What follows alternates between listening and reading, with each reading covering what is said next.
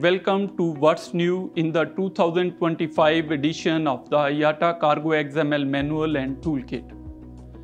Key changes have been driven by the enforcement of two new PLACI regimes, EU ICS 2 and Canada Pact, along with updates to the existing US ACAS program. The enhanced US ACAS security filing now requires more detailed information to better identify supply chain parties before loading cargo on US bound aircraft. To meet these requirements, guidance in the toolkit recommends using existing optional data elements from master and house airway bill messages like consignee and shipper contact numbers and emails. To satisfy additional data requirements, new US ACAS equivalent codes have also been introduced in the OCI code list 1.100.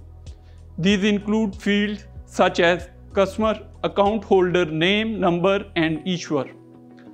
The OCI composition rule table is updated to reflect these changes.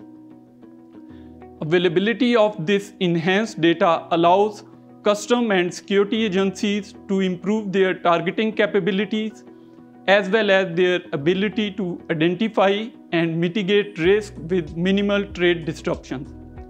Finally, new special handling codes have been introduced to improve special shipment handling, including human and animal remains.